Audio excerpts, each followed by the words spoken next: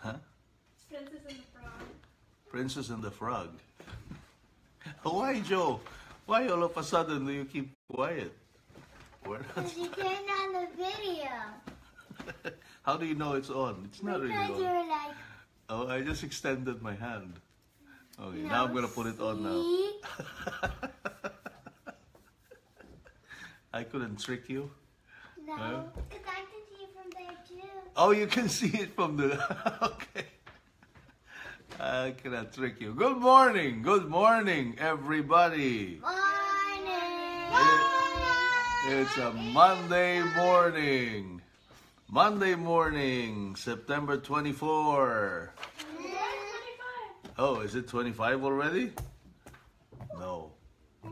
Oh, okay. Okay. I didn't check. Oh. Maybe I got the wrong maybe I got the wrong gospel for the day. anyway.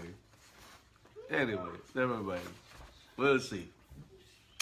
The gospel we have today is from St. Luke chapter 8 verses 16 to 18.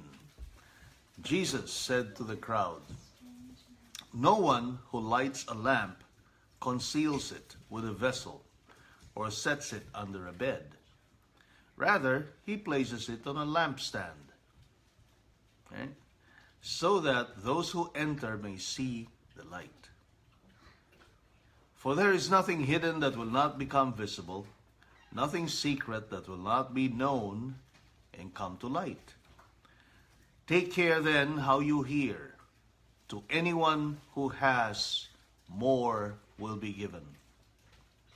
And from the one who has not, even that which he seems to have will be taken away.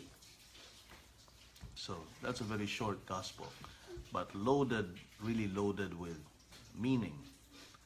And I want to go um, comment on this by by commenting on the on the line towards the end. To anyone who has, more will be given.